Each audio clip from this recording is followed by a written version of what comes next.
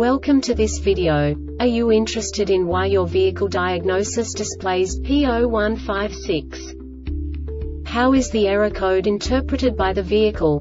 What does P0156 mean, or how to correct this fault? Today we will find answers to these questions together. Let's do this. First, let's look at the history of diagnostic fault code composition according to the OBD2 protocol, which is unified for all automakers since 2000. We divide the electric system of automobile into the four basic units. Powertrain, body, chassis, network. This distribution is defined in the first character code.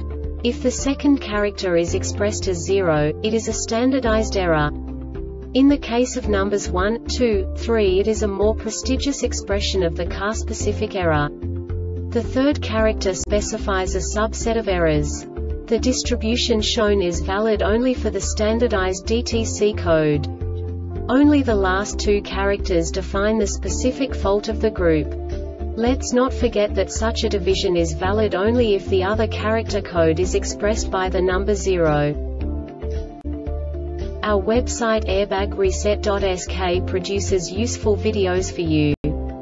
You do not have to go through the OBD2 protocol anymore to know how to troubleshoot any car breakdown. You will find all the diagnostic codes that can be diagnosed in a Infiniti vehicles. Also many other useful things.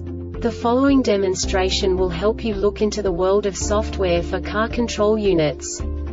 You unbelievably can move the video a bit further.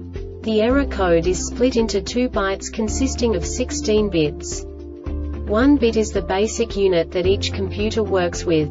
The bit has two logical states. 0, low level, 1, high level. By combining the first two bits, the basic character of the error code is expressed. The next two bits again determine the second character.